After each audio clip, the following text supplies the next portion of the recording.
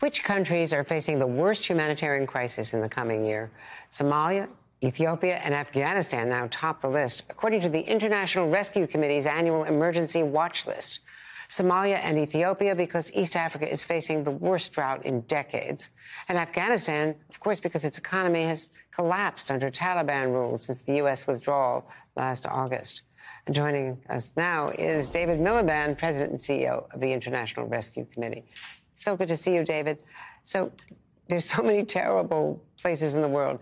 How do you reach this conclusion, the worst possible uh, you know, crises in the coming year, and, and how do they break this cycle?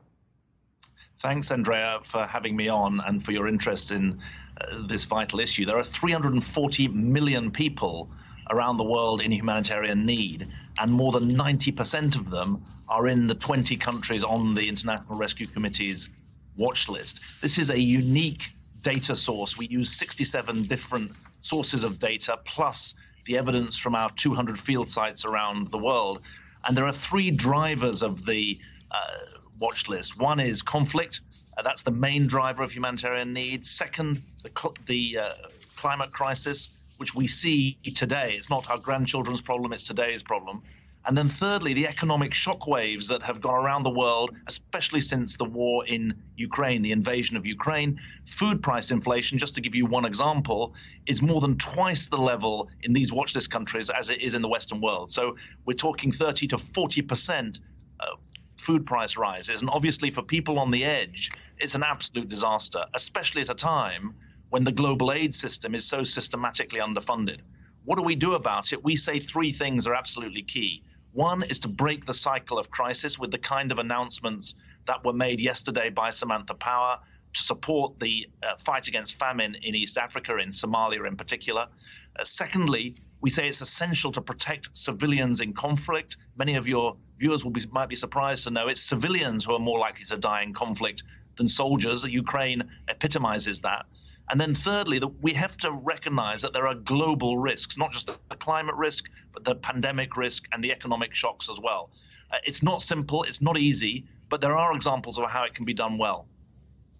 Now, the U.S. Africa leaders, uh, the summit with 49 leaders continuing today here in Washington, they're focusing on trade, investment in health, infrastructure, agribusiness. Could this make a difference? Do you think there will be a reality to back up these pledges? Well, I hope so. It's very, very important, this uh, summit, because there are two stories of Africa. One is of Africa rising, and that it's trading more, it's got a growing middle class of over 350 million people. But the other side of the story is of significant number of African countries who are struggling.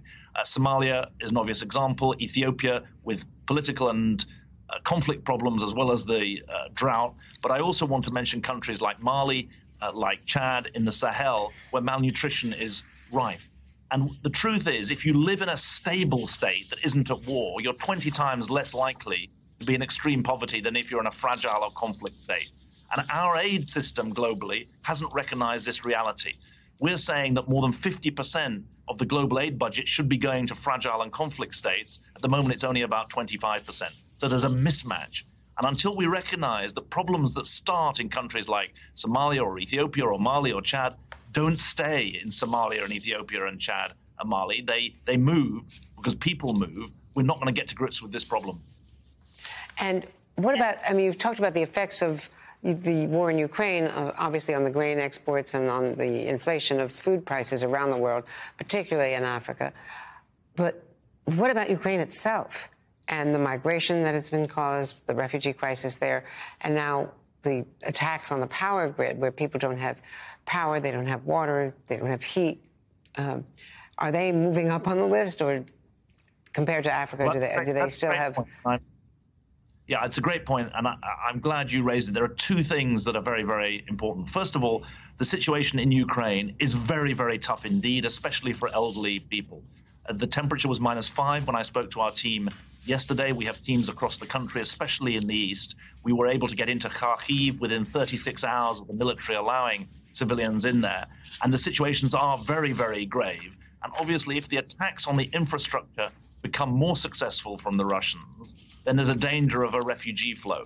But the second part of the reality is that the Ukraine crisis is being well funded in humanitarian terms and well supported in Europe for those refugees, women and kids who've gone into Europe have been given rights of residency, rights to support.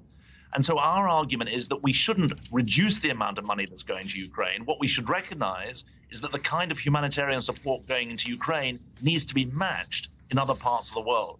And so the fact that the Ukraine crisis is showing what the humanitarian community is capable of, the kind of solutions focus that we can bring to bear is very important, but we can't constrain it to Ukraine. One of the messages from the Africa summit that you mentioned from African leaders is look, we don't want double standards. You can't treat Ukraine different from the treatment of Somalia and Ethiopia. That's certainly a very strong message of our watch list report.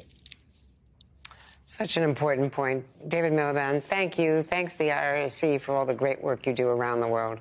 We really appreciate Thanks. this.